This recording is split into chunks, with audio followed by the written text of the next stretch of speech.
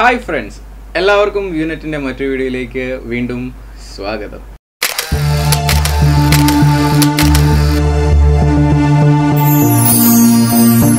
നമ്മൾ already used lens മേടിക്കുമ്പോൾ എന്തൊക്കെ കാര്യങ്ങൾ ശ്രദ്ധിക്കണം എന്ന് പറഞ്ഞ് ഓൾറെഡി ഒരു വീഡിയോ ചെയ്തിരുന്നു. ആ വീഡിയോ നിങ്ങൾ ഇതുവരെ കണ്ടിട്ടില്ല എന്നുണ്ടെങ്കിൽ ഞാൻ എന്റെ ലിങ്ക് ഡിസ്ക്രിപ്ഷൻ ബോക്സിൽ കൊടുത്തേക്കാം. അതൊന്ന് പോയി കണ്ടിട്ട് വരിക.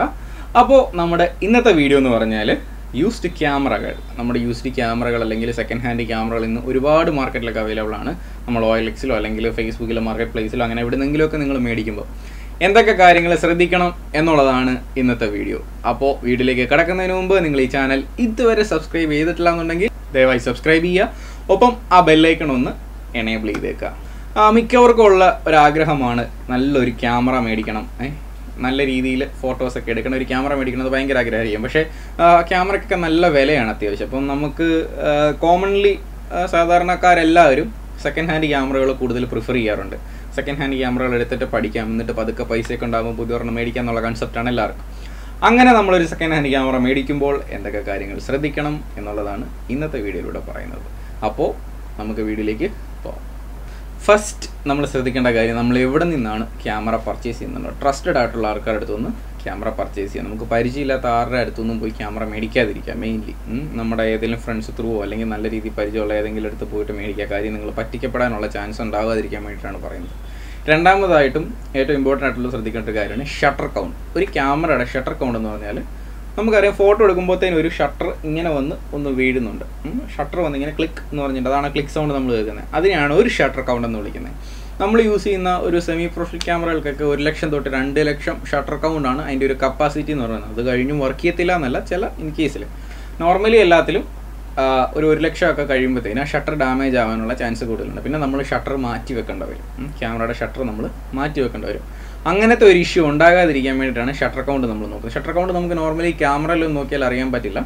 അതിന് സോഫ്റ്റ്വെയർസ് ഒക്കെ അവൈലബിൾ ആണ്.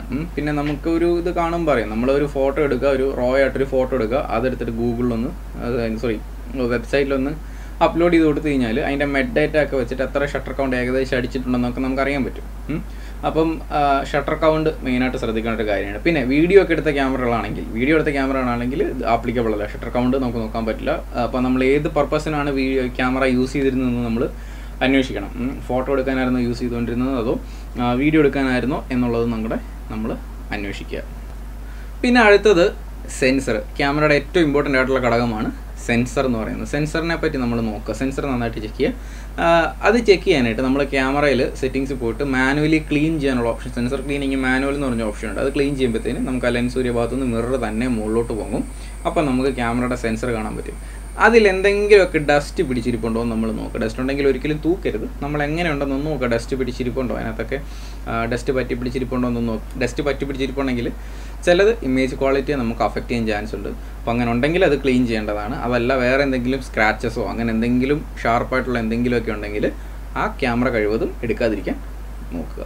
പിന്നെ അതിനകത്ത് എന്തെങ്കിലും ഫംഗസോ കാര്യങ്ങളോ ഒക്കെ ഉണ്ടോ എന്ന് നോക്കുക. ഫംഗസ് ഒക്കെ ഉണ്ടെങ്കിലുള്ള പ്രശ്നം എന്താണെന്ന് വെച്ചാൽ നമ്മൾ ഫോട്ടോ എടുത്ത് കഴിയുമ്പോഴത്തേന് വൈറ്റ് കളറുള്ള എന്തെങ്കിലും ഒരു സർഫസിന്റെ ഫോട്ടോ എടുത്ത് നോക്കിയാൽ നമുക്ക് ഇങ്ങനെ ഡോട്ടായിട്ട് അതിനകത്ത് കാണാൻ പറ്റും. അതാണ് അതിനകത്തെ മെയിൻ ഇഷ്യൂ എന്ന് പറയുന്നത്. പിന്നെ നാലാമതായിട്ട് ക്യാമറയുടെ ഫിസിക്കൽ കണ്ടീഷൻ എങ്ങനെയാണ് നോക്കുക. അതിനകത്ത് എന്തെങ്കിലും ഡാമേജസ് ഉണ്ടോ? എവിടെയെങ്കിലും ചെറിയ പൊട്ടലോ അങ്ങനെ എന്തെങ്കിലുമൊക്കെ ഉണ്ടോ? അല്ലെങ്കിൽ എന്തെങ്കിലുമൊക്കെ തേഞ്ഞതായിട്ട് ഇരിപ്പുണ്ടോ എന്നുള്ളതോ ചെറിയ എന്താ പറയുക റഫ് യൂസ് ചെയ്ത ക്യാമറയാണോ എന്നൊക്കെ നോക്കുക നമ്മൾ മെയിനായിട്ടും എവിടെയെങ്കിലുമൊക്കെ ഇങ്ങനെ പോറലോ അതോ ഇതൊക്കെ റഫായിട്ട് കൊണ്ട് നടന്നതാണോ എന്നൊക്കെ നോക്കിയേക്കുക മെക്കാനിക്കലായിട്ട് എന്തെങ്കിലും ഇറക്കി ഉണ്ടോ? അതിന്റെ എന്തെങ്കിലും ഇറക്കി ഉണ്ടോ നോക്കുക. പിന്നെ നമ്മൾ അതിന്റെ ബട്ടൺസിലൊക്കെ കഴിവതൊന്ന് പ്രസ് ചെയ്ത് നോക്കുക. എല്ലാ ബട്ടണും വർക്കിംഗ് ആണ്. മെയിൻലി ഇപ്പോൾ ചില ക്യാമറ ഒക്കെ വീഡിയോ എടുത്തുകൊണ്ടിരിക്കുന്ന ക്യാമറ ആണെങ്കിൽ അതിന്റെ വീഡിയോ ബട്ടൺ ചിലപ്പോൾ വർക്ക് ചെയ്യത്തില്ല. ചിലപ്പോൾ ആ ബട്ടൺ ഇങ്ങനെ ഒരു അപ്പോൾ അങ്ങനെ വരുമ്പോഴത്തേനും ഒരു സെക്കൻഡ് അത് വിൽക്കും. നല്ല റേറ്റ് കുറച്ചിട്ടൊക്കെ വിൽക്കും. അപ്പം അങ്ങനെയുള്ള കണ്ടീഷൻ നോക്കുക അതിന്റെ ബട്ടൺസ് ഒക്കെ വർക്കിംഗ് ആണോ? എല്ലാ ബട്ടണും വർക്കിംഗ് ആണോ എന്നൊക്കെ ഒന്ന് ശരിക്കും നോക്കുക. പിന്നെ ഇതിന് ഇൻവോയ്സ് കിട്ടുമോ കഴിവതും ഇൻവോയ്സ് ഉണ്ടോ? എന്ന് വെച്ചാൽ മേടിച്ച സമയത്തുള്ള ബില്ല് ഉണ്ടോ എന്ന് നോക്കിയേക്കുക ഏത് വർഷമാണ് മേടിച്ചതെന്ന് നമുക്ക് അറിയാൻ പറ്റും. എങ്ങനത്തെ കണ്ടീഷനിൽ എത്ര നാളത് യൂസ് ചെയ്തിട്ടുണ്ടെന്നൊക്കെ നമുക്ക് അറിയാനായിട്ട് ഏറ്റവും നല്ലതാണത്. ശ്രദ്ധിക്കേണ്ട ഒരു സാധനമാണ് എന്റെ പോർട്ടുകൾ മൈക്ക് കുത്തുന്ന port H D M I പോർട്ടുകൾ യു എസ് ബി പോർട്ട് ഇതൊക്കെ ഒന്ന് ചെക്ക് ചെയ്ത് നോക്കുക എന്തെങ്കിലും പ്രശ്നമുണ്ടോ? ലൂസ് ആവുന്നുണ്ടോ? എന്നൊക്കെയുള്ള കാര്യങ്ങൾ ശ്രദ്ധിക്കുക. ചിലതിന്റെയൊക്കെ എച്ച് ഡി എം ഐ പോർട്ടൊക്കെ ഒരുപാട് ഓവറായിട്ട് യൂസ് ചെയ്ത് കഴിഞ്ഞാൽ എച്ച് ഡി എം ഐ പോർട്ടൊക്കെ കുത്താത്ത അതായത് ലൈവ് ടെലികാസ്റ്റിങ്ങിനൊക്കെ യൂസ് ചെയ്യുന്ന ക്യാമറകളുണ്ടാവും അതിനൊക്കെ എപ്പോഴും H D M I cable ഇങ്ങനെ കണക്ട് ചെയ്യുന്ന. അപ്പോൾ H D M I cable connect ചെയ്തിട്ട് എന്തെങ്കിലും ഇഷ്യൂ ഉണ്ടോ? എച്ച് ഡി എം ഐക്ക് എന്തെങ്കിലും പ്രശ്നമുണ്ടോ? എന്നൊന്ന് നോക്കുക. പിന്നെ അതിന്റെ വ്യൂ ഫൈൻഡർ ഒപ്റ്റിക്കൽ വ്യൂ ഫൈൻഡറിനകത്തോട് നോക്കുക. അതിനകത്ത് എന്തെങ്കിലും പൊടിയോ കാര്യങ്ങളോ ഒക്കെ ഉണ്ടോ നോക്കുക. മിററിലൊക്കെ എന്തെങ്കിലും പ്രശ്നമുണ്ടോ? വ്യൂ ഫൈൻഡറിനകത്ത് എന്തെങ്കിലും പ്രശ്നമുണ്ടോ? എല്ലാം ഒന്ന് ചെക്ക് ചെയ്യുക. പിന്നെ അതിന്റെ എൽ സി ഡി ചെക്ക് ചെയ്യുക എൽ സി ഡിക്കകത്ത് എന്തെങ്കിലും പക്ഷേ ഇപ്പം വേരി ആംഗിൾ എൽ സി ഡികളുണ്ട് അത് ഇങ്ങനെ എൽ സി ഡി ഇങ്ങനെ തുറന്നിട്ട് ഇങ്ങനെ നല്ല ആംഗിളിലോട്ടൊക്കെ തിരിക്കാവുന്നുണ്ട്. അതങ്ങനെയൊക്കെ തിരിച്ചു നോക്കുക. ഓൺ ആക്കിയിട്ടുകൊണ്ട് തന്നെ തിരിച്ചു നോക്കുക. തിരിക്കും ഇമേജ് വല്ലോ ടിൽട്ട് ആവുന്നുണ്ടോ? അങ്ങനെ എന്തെങ്കിലുമൊക്കെ പ്രശ്നങ്ങളുണ്ടോ എന്നൊക്കെ ഒന്ന് ചെക്ക് ചെയ്ത് നോക്കുക. പിന്നെ ഉള്ളത് കഴിവതും നമ്മൾ ഫോളോ ഫോക്കസ് അടുത്തൊരു ഇതാണ് ഫോളോ ഫോക്കസ് ഫോളോ ഫോക്കസ് എല്ലാ ക്യാമറകളിലും ഇല്ല. ഒരു സെമി പ്രൊഫഷണൽ കഴിഞ്ഞ് പ്രൊഫഷണൽ റേഞ്ചിലോട്ട് തുടങ്ങുന്ന ക്യാമറകളിലേ ഉള്ളൂ. ഫോളോ ഫോക്കസ് ഉള്ളൂ. ഫോളോ ഫോക്കസ് നിങ്ങൾ വീഡിയോ എടുത്ത് നോക്കുക. പക്കയായിട്ട് വർക്ക് ചെയ്യുന്നുണ്ടോ? ഫോക്കസിങ് പക്കയാവുന്നുണ്ടോ എന്നൊക്കെ ഒന്ന് നോക്കിയേക്കുക. പിന്നെ ഉള്ളത് നിങ്ങൾ സ്റ്റുഡിയോ ആൾ ഇപ്പം ഫോട്ടോഗ്രാഫറാണ്. ഒരു പ്രൊഫഷണൽ ഫോട്ടോഗ്രാഫർ അല്ലെങ്കിൽ ഒരു സ്റ്റുഡിയോ ഉള്ള ആളുടെ നിന്നാണ് നിങ്ങൾ മേടിക്കുന്നതെങ്കിൽ അത് മിക്കവാറും ഒത്തിരി യൂസ് ചെയ്ത ക്യാമറ ആയിരിക്കും. ഒരുപാട് അവർക്ക് സ്ഥിരം വർക്കുള്ളതുകൊണ്ട് യൂസ് ചെയ്യുന്നതായിരിക്കും. അപ്പോൾ അതെങ്ങനെയാണെന്ന് നോക്കിയിട്ട് നിങ്ങൾ മേടിക്കാവുള്ളൂ. റഫ് യൂസ്ഡ് ക്യാമറ ആണെങ്കിൽ കഴിവതും അത് മേടിക്കാതിരിക്കുക.